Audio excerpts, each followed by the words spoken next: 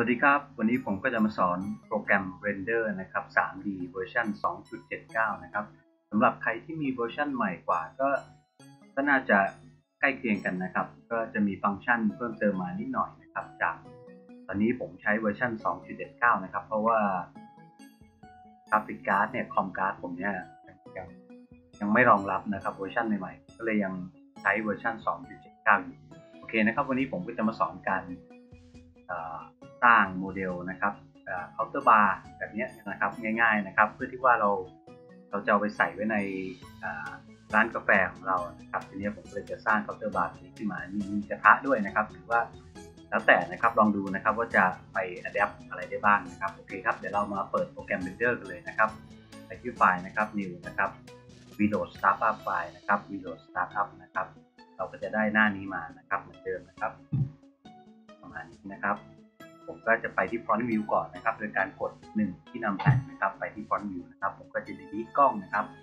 ก็ delete ไฟนะครับ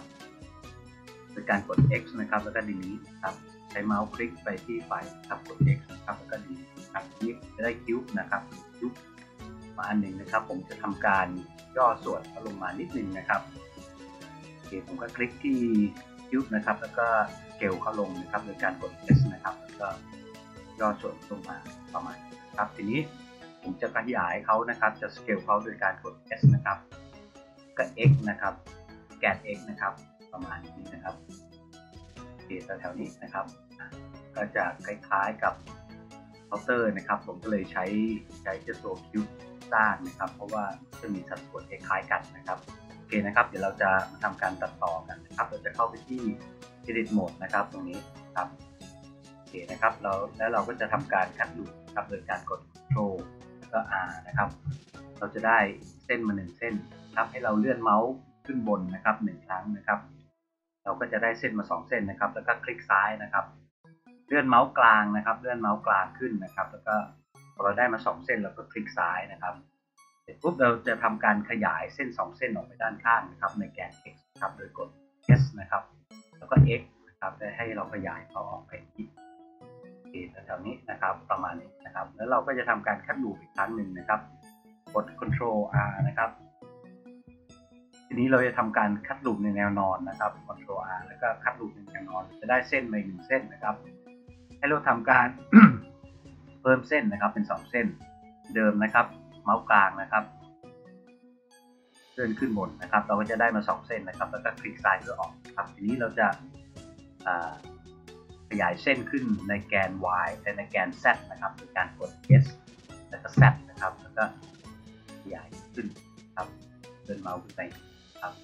โอเคแถวนี้นะครับ เราก็จะได้การคัดลูปมาหน้าตาจะเป็นประมาณนี้นะครับ ทีนี้เดี๋ยวเราจะทำการเเรียกเราจะดันส่วนนี้เฟสส่วนนี้นะครับ ให้เขาลุดเข้าไปด้านในนะครับ โดยการเลือกโดยการเลือกนะครับเฟสเล็กตรงนี้นะครับครับแล้วก็เอาเมาส์เล็กที่ตรงนี้ครับเราจะได้ selection ตรงนี้มานะครับ ให้เรากด E นะครับ แล้วก็กด Y นะครับ เราจะทำการรูทเข้าเป็นในแนว Y นะครับนะครับมาที่นะครับในแนว Y นะครับเข้าไปด้านในนะครับเข้าไปด้านในครับประมาณนี้นะครับ นี้นะครับ เสร็จปุ๊บให้เรากด I กด B Control B นะครับ เราจะทำการ Visual เขาโดยการทำให้เขามีมีขอบเพิ่มขึ้นนะครับด้านในเราจะเลื่อนนะครับ จะทำการให้เขามีคล้าย ๆ มีขอบเพิ่มขึ้นมานะครับพอเราเลื่อนได้ประมาณนี้นะครับ ให้เราซ้ายเพื่อออกนะครับโอเคนะครับลองเช็คอีกทีนะครับ ไปที่ Object Mode นะครับ ครับก็จะได้ท้ขอบด้านในครับโอเคนะครับ เดี๋ยวผมจะทำเพิ่มอีกขอบนะครับ กดแท็บก็ได้นะครับ เข้าไปที่ Edit นะครับนี้เลือก Face เหมือนเดิมนะครับ นี้นะครับ แล้วก็คลิกที่หน้าด้านหน้านี้ครับด้านครับแล้วเราก็จะทำการ extrude เขาอีกทีครับโดยการกด E นะครับ แล้วก็แกน Y เหมือนเดิมครับ แกน Y นะครับ เข้ามาครับ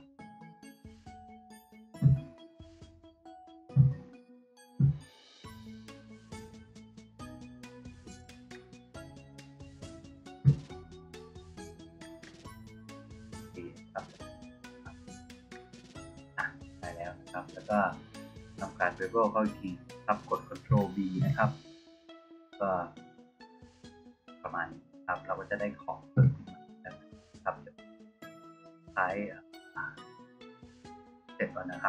ายคล้ายๆเป็นของเพิ่มขึ้นมาครับแค่นี้เองครับครับต่อไปนะครับเราจะทำการคัดลูปนะครับ ด้านบนครับกด Ctrl R นะครับเพื่อคัดลูปเราเข้าไปที่ Edit Mode ก่อนนะครับ เราก็ทำการกด Ctrl R นะครับทำการคัดลูปครับเราได้เส้นที่มันเส้นนะครับ คลิกเมาส์ขึ้นไปด้านบนนะครับ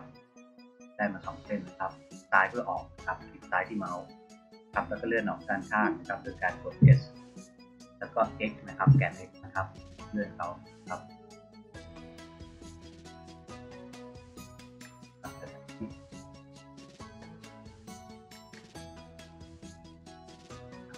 นี่นะครับ นี้เดี๋ยวเราจะทำการยืดเคาน์เตอร์ขึ้นนะครับยืดเคาน์เตอร์ขึ้นครับ เดี๋ยวเราจะมาทำการเอ่อเบเวลเขาอีกทีดีกว่านะครับ เพราะผมความรู้สึกว่าด้านนี้เขาคมคมเกินไปนะครับ เราจะทำการกดที่ตรงนี้นะครับเอ่อ H เล็กนะครับกดแล้วก็เราก็เลือกของข้างครับเลือกของข้างนะครับ ของข้าง กดชิปค้างไว้นะครับ เลือกของข้างอันไหนที่ เราไม่ใช้นะครับ ให้กดคลิกค้างไว้แล้วก็กดคลิกซ้ายที่ตรงที่เราไม่ใช้นะครับครับเราจะใช้ขอบข้างครับปุ๊บให้เรากด Ctrl V นะครับเลื่อนเขาเข้านะครับเลื่อนเข้ามามาครับเดี๋ยวครับแล้วก็กด Tab นะครับ เพื่อออกจากครับกด Tab ครับจะมีของอ่าจะไม่ดู คมเกินไปครับ ไม่ดูแหลมเกินไปครับสองข้างครับโอเคครับนี้เดี๋ยวเราจะอยากให้เคาน์เตอร์ตั้งขึ้นนะครับให้ตั้งขึ้นแบบนี้ครับ แล้วก็ยืดออกมาครับนี้เราต้องทำการคัดลูปด้านนี้นะครับการคัดลูปเซด้านครับการเข้าไปที่ edit mode นะครับ นี่เลยทำการคัดลูปครับ Ctrl R นะครับ นี่เราจะทำการคัดลูปในแนวนอนนะครับครับครับคลิกซ้ายนะครับเลื่อนเขามาครับก็คลิกซ้ายเพื่อออกครับ นี้เดี๋ยวเราจะทำการดึงเขาขึ้นครับในแกนครับแต่ผมจะดึงแค่ครึ่งเดียวนะครับ ผมจะดึงเดียวเพราะเดี๋ยวครึ่งนึงเนี่ย มาจะเอาไปใช้ประโยชน์ครับเดี๋ยวเราจะดึงแค่ครึ่งเดียวครับนี้เราก็ต้องกด Ctrl R อีกนะครับกดพัดพัดสร้างแล้วคลิกซ้ายนะครับไว้นะครับทีนี้เราจะทำการ face นะครับกดที่ face เล็กนะครับเลือกเลือก face นะครับกดซ้ายนะครับกดคลิกซ้ายนะครับ ครับทีนี้เดี๋ยวเราจะดึงเขาขึ้นนะครับดึงขึ้น โดยการกด E นะครับดึงเขาขึ้นในแกนในแกน Z นะครับกด E แล้วก็ Z นะครับขึ้นประมาณครับ ครับทีนี้จะดึงเคาน์เตอร์เขาออกมาฝั่งนี้นิดนึงนะครับเพื่อที่ว่ากับการเวลาจะเสิร์ฟชากาแฟหรืออะไรเงี้ยนะครับ ก็จะได้ที่วางครับนี้เราก็ต้องทำการขั้นดูครับาเราจะได้มี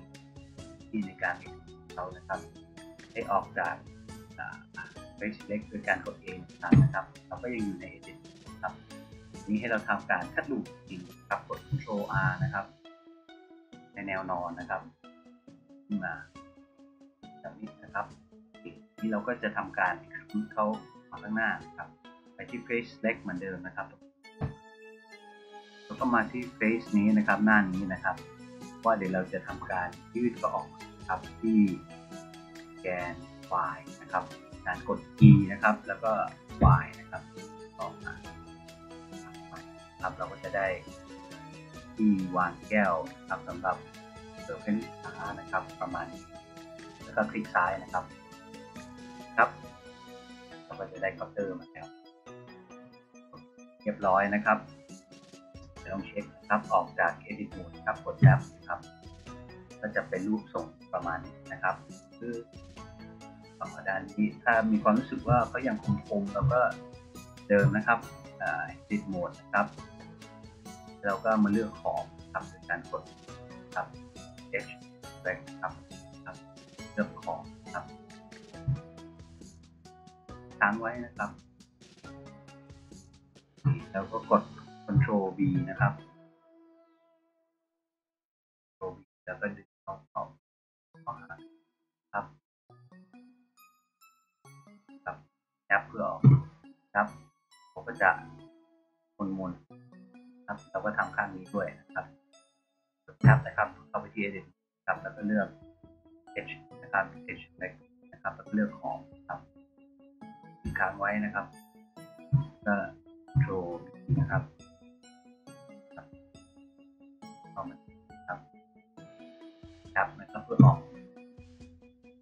ได้แล้วนะครับโอเคนะครับ ทีนี้นะครับเดี๋ยวเราจะทำการจะสร้างก็จะทำการแค่ลูปเหมือนเดิมนะครับฝั่งนี้นะครับทีกดที่แท็บนะครับครับจะไปคัดลูปแล้วนะครับทีนี้ผมจะจะเลือกเฟสนะครับเข้าที่เฟสเล็กตรงนี้นะครับเฟสนะครับ แล้วผมก็จะทำการ exclude เขาลงนะครับเพื่อให้เขามีมีระดับ เป็นระดับนิดนึงนะครับ โดยการกด E นะครับ แล้วก็กด Z นะครับ ครับ E Z นะครับก็ลงนะครับนิดนึงนะครับโอเคทีนี้ผมจะแยกแยก Object ตัวนี้นะครับ ให้เขาให้เขาให้เขาสามารถเป็นเป็นเป็น select ตัวเขาเองนะครับแบบเขาจะได้แยกส่วน ไม่ไม่ไปปนกับตัวโต๊ะนะครับทีนี้ก็กด P นะครับ selection นะครับกดเนี้เขาจะแยกเขาออกมาแยกเป็นตัวเขาเองออกมาเป็น layer นะครับ เนี้เดี๋ยวผมจะตั้งชื่อก่อนครับจะได้ไม่งงครับตรงเนี้ยก็จะเป็นจะตั้งชื่อเขาว่าเป็น table นะครับนี่นะครับ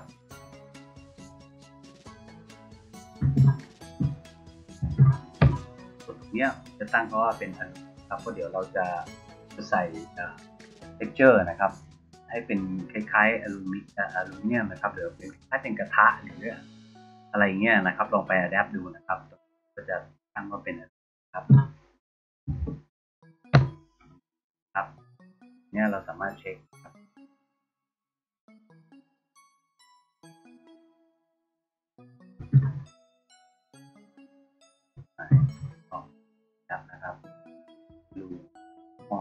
นะครับ นี่เดี๋ยวผมต้องเปลี่ยนโต้นะครับอันนี้ครับ จะเปลี่ยนเป็น rename นะครับ เป็น text ครับครับ ครับ นี้เราก็จะแยกกันแล้วนะครับ ก็จะได้เพิ่มขึ้นมาเช็คเพิ่มขึ้นมาครับโอเคนะครับ ทีนี้เดี๋ยวเราจะทำการใส่ texture กันนะครับ ผมจะใส่ texture ที่อลูก่อนนะครับง่ายนะครับนะครับ เปิดอันนี้ขึ้นมาอย่าลืมเปลี่ยนจาก render render นะครับให้เป็น cycle render ครับ แล้วก็ use node นะครับ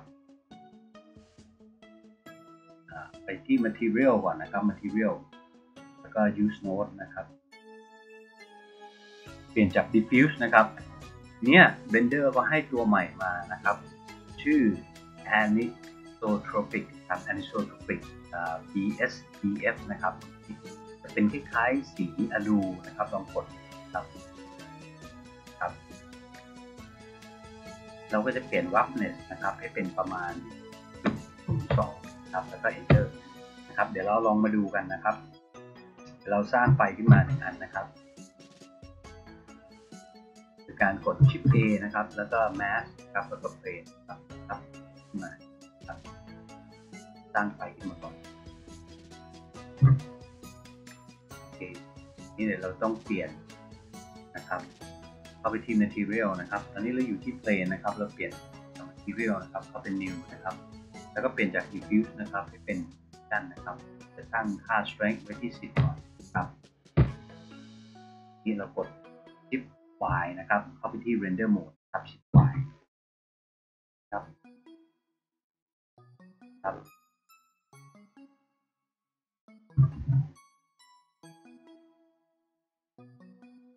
แสงนิดนึงนะครับเพิ่มแสงเป็น20ครับครับมีอ่าเฟกครับเป็นคล้ายอลูครับเนี่ยนะครับครับ ออกจาก render mode ครับที่ solid คครับทีนี้เดี๋ยวเราจะทำการใส่ texture ให้กับโต๊ะเรานะครับ table เนี่ยนะครับเราจะทำการ unwrap นะครับ unwrap เขานะครับเปิดหน้าต่างขึ้นมาอีกอันนึงครับก็มาที่ตรงนี้นะครับ image editor ครับก็จะขึ้นหน้านี้นะครับพอเราอยู่หน้านี้ให้เราทำการเข้าไปที่ edit mode ครับ แล้วกด A นะครับเพื่อ select all นะครับทั้งหมดนะครับยกเป็นตัวอลูครับเสร็จปุ๊บกด U นะครับ แล้วก็ project ของ U ครับเราก็จะได้คล้ายโต๊ะขึ้นมาอันะครับนี่ให้เราไปเลือก Open นะครับฝั่งอ่อ image เอ่อ image editor ตรงนี้นะครับ Open นะครับ แล้วก็ไปเลือกที่เราเก็บภาพไว้นะครับ ทีเนี้ texture เนี่ยจะใส่อะไรก็แล้วแต่ต้องไปหาโหลดเอาในอินเทอร์เน็ตได้นะครับเนี่ยส่วนผม เนี่ยก็จะเลือกที่ผมเตรียมไว้แล้วนะครับ ก็จะเป็นเจ้าตัวไว้ป่านะครับเลือกนี้นะครับ kitchen wood ครับ open ตรงนี้สามารถไปหาโหลดได้นะครับในอินเทอร์เน็ตครับหรือว่าใครที่อยากจะสร้าง texture ขึ้นมาเองนะครับ ก็หยิบกล้องไปแล้วก็ถ่ายรูปนะครับ แล้วก็ ทำสเกลให้เป็นหนึ่งต่อหนึ่งประมาณนี้นะครับ เพื่อที่จะเอามาทำเป็น texture นะครับ ต้องมีความละเอียดสูงนิดนึงนะครับโอเคแค่นี้นะครับ เราจะมาหมุนในตัว UV unwrap เรานิดนึงนะครับกด R นะครับแล้วก็90ครับเนี่ยผมก็จะได้ texture ที่เป็นแนวตั้งนะครับ ผมจะขยายขึ้นนิดนึง ก็เลื่อนโดยการกด T ครับเนี่ยเดี๋ยวผมจะขยายเขาในแกน x นะครับ กด S x นะครับ ครับ นี้เราต้องเข้ามาเปลี่ยน material ก่อนนะครับ ก่อนที่ก่อนที่จะเปลี่ยน cycle render นะครับที่เป็น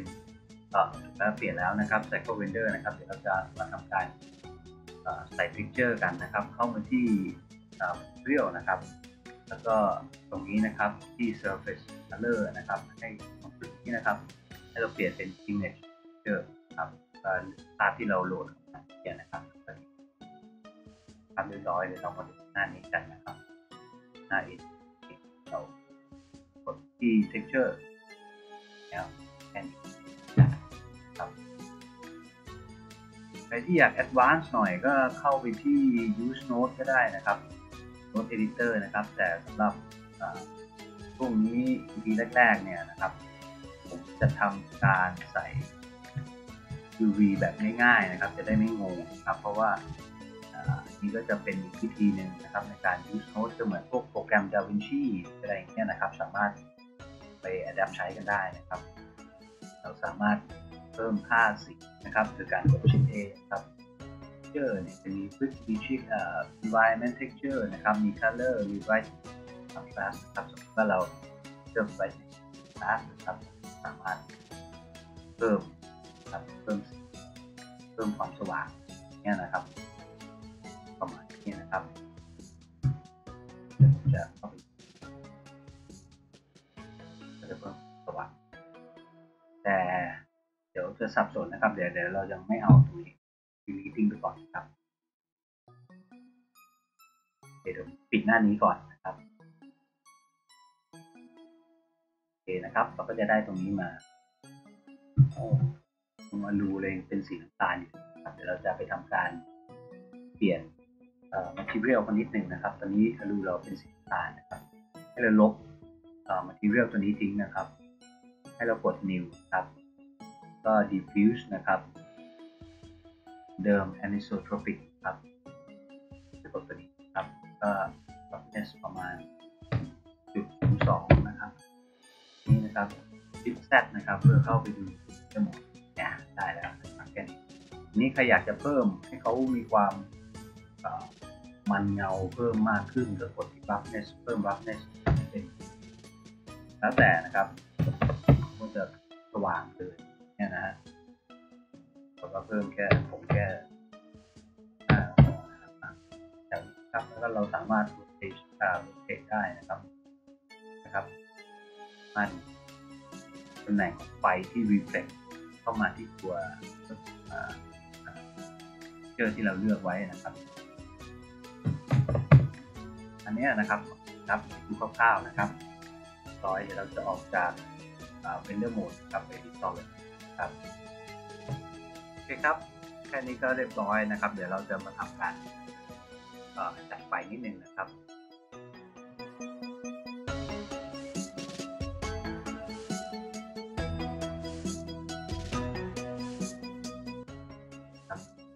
สร้างกล้องขึ้นใหม่กันนะครับโอเอครับแล้วก็จัดการครับ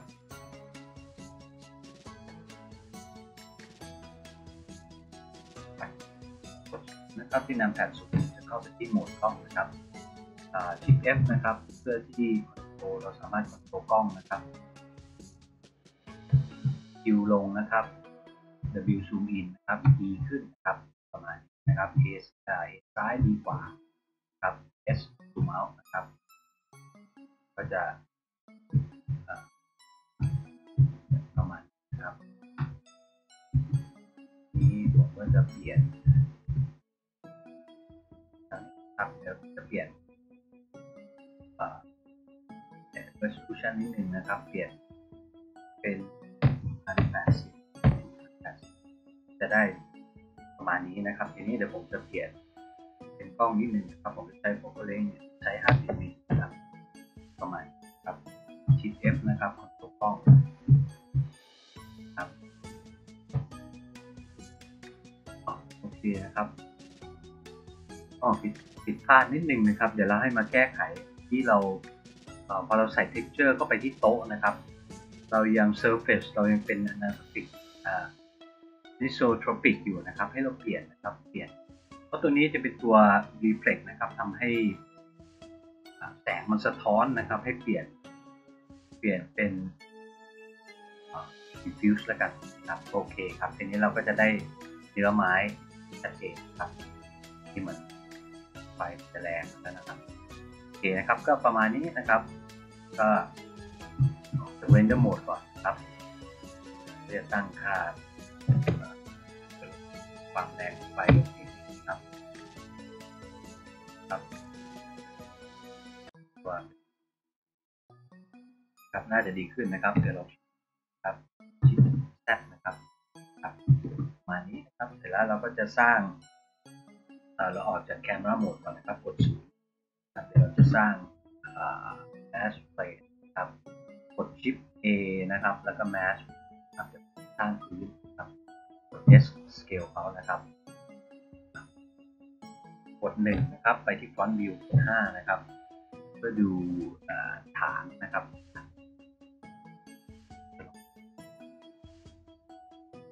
กด0นะครับ ไปที่ Camera Mode นะครับ แล้วก็ชิป Z นะ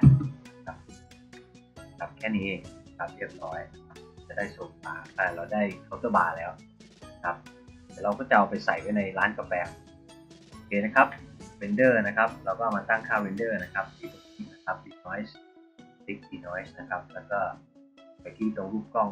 นะครับ แล้วก็ตั้งค่านะครับของผมจะใช้ 1080 1080 ครับ ที่ร้อยนะครับ มีใครจะใช้เท่าไหร่ก็แล้วแต่นะครับ มี output นะครับเราก็จะเซฟไว้ไหนก็แล้วแต่นะครับที่เราสร้างโปรเจกต์ไว้นะครับ